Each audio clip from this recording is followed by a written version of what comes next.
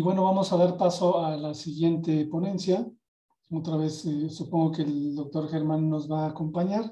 Ahora el tema es empleo de la historia integral de la microtecnia e histotecnología como herramienta epistémica para las ciencias biológicas. Creo que lo logré. Este, adelante, doctor.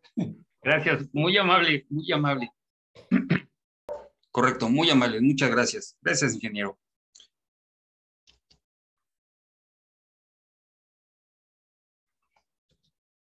Correcto. Nuevamente, agradecer eh, la paciencia que nos han tenido a, los que hemos mandado toda esta cantidad de barbaridades al, comité del Congreso. Les agradecemos nuevamente. Muy bien. Eh, les voy a platicar ahora, a partir de la epistemología de la imaginación, cómo podemos crear algo que se pueda aterrizar, ¿sí? A partir de utilizar estas condiciones eh, quizá un poquito extrañas porque no estamos acostumbrados a escucharlas, pero para ayudar y trabajar con el alumno. Muy bien. Eh, esto también forma parte de los trabajos que hacemos en el seminario permanente de investigación y es parte, eh, un pedacito de la estancia postdoctoral que estoy haciendo en el CIECAS del Instituto Politécnico Nacional con el doctor Luis Mauricio Rodríguez Salazar como tutor. Muy bien, empecemos nuevamente para pedirle un poco de, de miedo a los conceptos.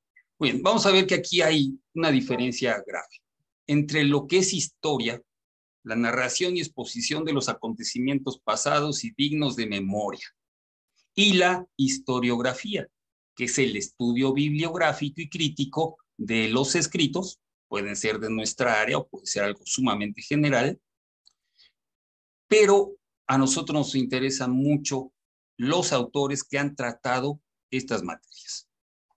Siguiente, repetimos un poco lo de filosofía. ¿no? El conjunto de saberes para establecer de forma racional el conocimiento de la realidad y qué tan cerca está de la verdad, y la filología, que es el estudio bibliográfico y crítico de los escritos sobre historia, fuentes y autores que han tratado estas materias. Muy bien. Eh, eh, suscribo lo que las doctoras presentaron hace rato. Tenemos un problema grave con los alumnos. ¿no? Entonces, en la educación basada en conceptos, conceptualización y repetición a la que estamos acostumbrando y hemos acostumbrado y quizá nosotros mismos desde la primaria. Entonces, eh, se tiene claro que la fase inicial del aprendizaje, ¿ah? que es la percepción de partes o piezas aisladas. El problema es que eventualmente superficial y sin una conceptualización clara por parte del alumno. Después, en la parte intermedia, que en el mejor de los casos el alumno va a poder relacionar y encontrar similitudes entre las partes que uno le está mostrando. El problema es que trata, solamente trata, pero no puede relacionar y enlazar los conceptos que están en esta relación y similitud. Y en la fase terminal, también en el mejor de los casos, suponemos que el alumno va a poder integrar estos conceptos, lo que va a provocar una mayor capacidad. Y aquí está el problema grave de nuestra educación. Ejecución automática, ejecución repetitiva. Muy bien. Vayamos con la imaginación. Desde 38, Dewey eh, trató de explicar que la imaginación está dentro de cualquier condición de aprendizaje humano. Y esta, eh, y esta facultad, porque eh, incluso desde un poco antes ya se tenía claro que es una facultad del ser humano, quizá exclusiva del ser humano, aunque ahora no estamos tan seguros con la mayoría de los animales.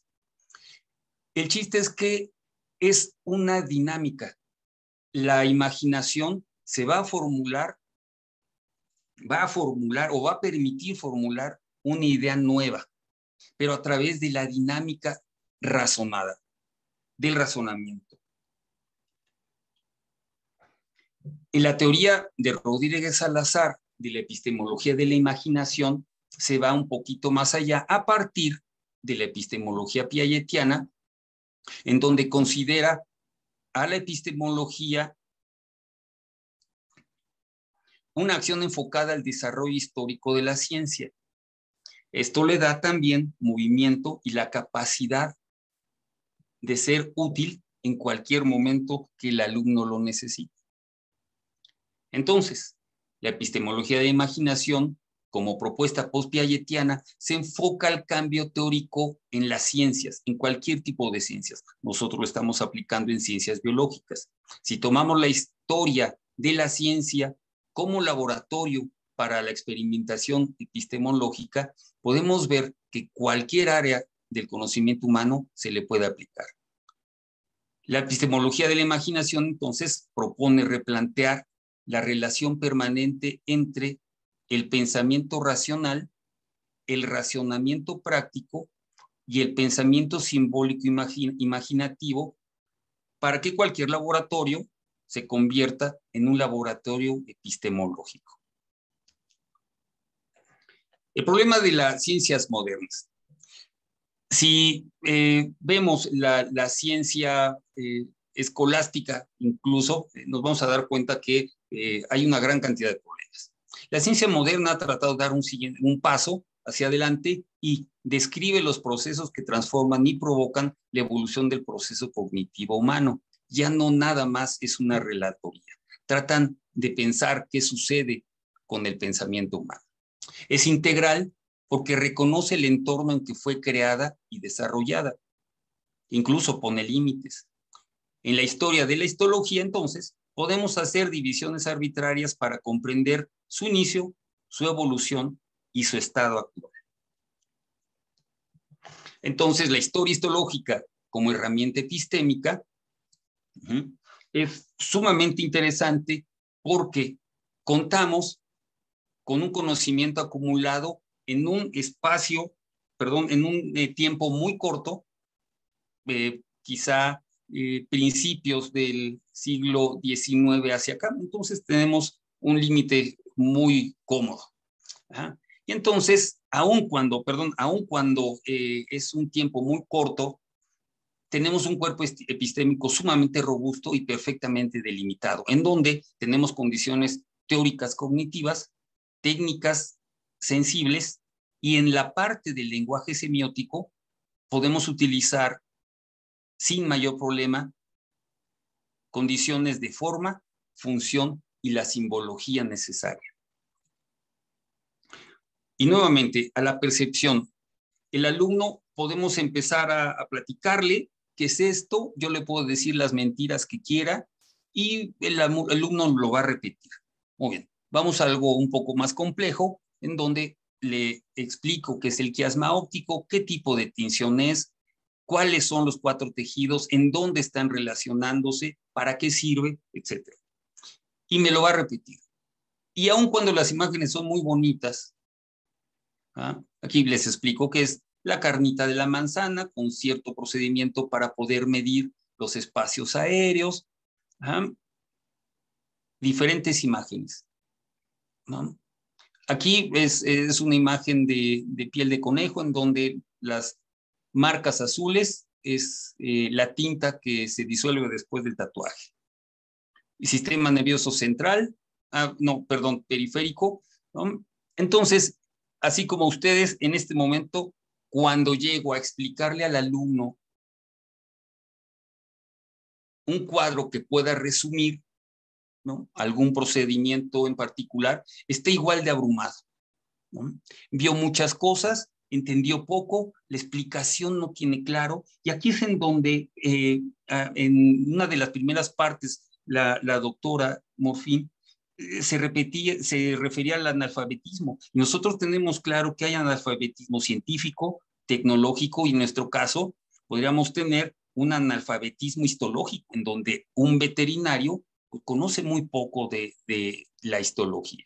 Muy bien, entonces, hacia la parte histórica, le podríamos eh, explicar al alumno que a partir de la fijación podríamos hacer una gran cantidad de procesos y vamos a llegar más o menos a lo mismo. Esto le dice muy poco al alumno y no le permite hacer conceptualizaciones claras.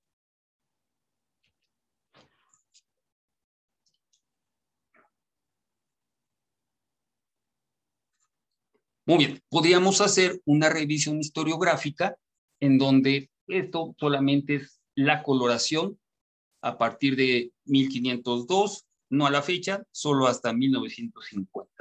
El alumno, esto es sumamente caótico para él. ¿no? No, tiene, no tiene pies ni cabeza, una gran cantidad de números, nombres, etc. Le cuesta mucho trabajo integrarlo como concepto.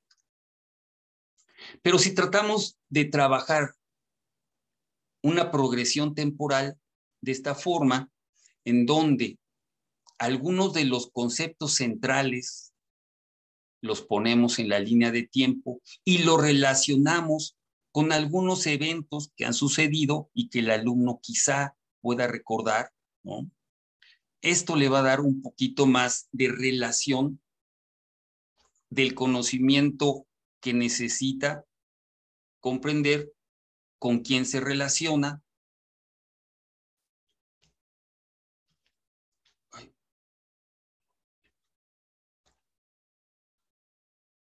Y podemos llevar al alumno a que trate de pensar en cada uno de los conceptos centrales, qué es, cómo, cuándo y dónde, por qué, para qué y quién. De esta forma, a partir de un concepto central que está perfectamente ubicado en la historia, en la utilidad de la ciencia que está trabajando, ¿ah? el alumno ya no va a preguntar, ¿y para qué necesito aprender esto o aquello? Entonces, esta aproximación epistemológica a la historia de la histología, a partir del contexto histórico, social, científico, filosófico, conceptual y didáctico, nos va a permitir que el alumno tenga conceptos centrales, que el significado epistémico del campo de estudio quede claro, que hay definiciones que anidan otros conceptos que se relacionan con diferentes niveles de complejidad de otras ciencias, si hay una huella de esta ciencia sobre de otras, si contribuyó o no al proceso de una revolución científica o de un suceso científico muy importante, o si ella misma fue el producto del cambio en algún paradigma en la ciencia o en la historia de la ciencia. De esta forma, la epistemología de la imaginación ahora sí la aplicamos y tenemos en esta triada cognitiva la parte teórica, teórica en donde el racionamiento formal del alumno ya puede explicar configuraciones imaginarias posibles que van a conformar a un organismo, órganos, tejidos, células, ya lo puede imaginar y ya lo puede racionalizar. Después, la parte técnica en donde el racionamiento práctico va a evidenciar la configuración de una porción del tejido, que gracias a determinadas acciones que hacemos en el laboratorio vamos a tener una eh, preparación para histología, para el microscopio, y el alumno va a poder observar mediante el instrumento de magnificación esta configuración imaginaria que tomó en teoría. Y finalmente, la construcción simbólica imaginativa, que a partir de esta imagen le va a permitir al alumno la creación de vocaciones imaginarias de estas realidades posibles que no son visibles a menos que se trabajen con el microscopio. Entonces, la epistemología de la histología, como en cualquier otra ciencia, debe tomar en cuenta los aspectos históricos, filosóficos y científicos para ubicar cada uno de los sucesos y aspectos que llevaron a la integración de su cuerpo teórico. La historia e historiografía en la histología debe ser una herramienta de la epistemología de la imaginación, que esto va a ofrecer al docente y al discente una perspectiva integral del concepto central que nos interesa que el alumno tenga claro en cada una de nuestras asignaturas. Por lo tanto, la historia de la histología es un excelente laboratorio epistémico. Está, el alumno cuenta con un marco histórico bien delimitado, queda inmerso en el desarrollo de habilidades sensibles, simbólico-imaginativas, desde que toma la clase va al laboratorio e incluso nosotros tenemos la capacidad de que el alumno vaya a preparar una laminilla laboratorio de apoyo técnico y de esta forma el alumno vincula el pensamiento racional y el razonamiento práctico. Permite el sincretismo del pensamiento racional, práctico y simbólico imaginativo. Ayudan a la aproximación natural y al desarrollo de las habilidades esperadas en una asignatura que puede pasar de teórico-práctica a teórico-práctica simbólica. Muy bien, y para terminar, eh, el doctor Yedó, y para ello se refiere a la educación, se precisa una revolución de la inteligencia que se hace fomentando, liberando una de las palabras esenciales de la existencia, la educación. En este combate por la historia reside el eterno presente de las enseñanzas que ha traído la filosofía. Muchas gracias. Excelente, doctor. Eh, ahora sí que es un tema bastante, bastante singular, digo, una manera de, de ver las cosas que aprendemos cotidianamente de una forma distinta, ¿no? Y de, pues de trabajarlas, creo yo, de manera diferente para lograr una mejor asimilación de, todo el conocimiento, ¿no? No sé si, si haya alguna pregunta. Eh. Hay, hay, una pregunta. Eh, sí, eh, que si los alumnos reciben cursos en los que se presentan métodos epistemológicos, como por ejemplo el catesianismo. igual que hace rato les platicaba, quizá usamos este tipo de construcciones sin saberlo, porque depende también qué asignatura estemos dando, hacia las partes eh, eh, eh, químico-matemáticas, es cartesianismo puro y muchos profesores lo utilizan a rajatabla, pero no saben que lo están haciendo. Hacia las ciencias biológicas, pues ya no podemos utilizarlo tal cual porque el ente biológico es sumamente móvil. Entonces, quizá eh, tenemos eh, que, pensar un poco más eh, para el doctor que pregunta, la aproximación quizá más hacia Bachelard, hacia Piaget, en donde podemos integrar muchas condiciones del alumno, de lo que es él, con lo que necesito que aprenda, y de esta forma podemos integrar un poco más hacia las ciencias biológicas sería ideal que el alumno en la preparatoria hubiera hecho caso en las clases de lógica para tener claro más o menos estas ramas de la filosofía, pero, eh, o estas herramientas a final de cuentas epistémicas, hay un juego extraño entre si es, que es primero una cosa u otra, pero bueno, tenemos claro que la filosofía junto con la historia nos va a hacer herramientas indispensables para cualquiera de nuestras asignaturas en cualquier área del conocimiento humano. Muy bien. Bueno, creo que hay otra pregunta más. Este, aunque no sé, este, no sé si esté presente la, siguiente ponente, ese es el, siguiente asunto. Pero bueno, eh, a lo mejor le podemos dedicar un minuto nada más a la pregunta, la semiótica desde el estudio de los signos visuales se integra perfectamente con el lenguaje lingüístico. En ese sentido, dará como resultado hipertextos. Supongo que se refiere a las cuestiones de páginas web y ese tipo de cosas.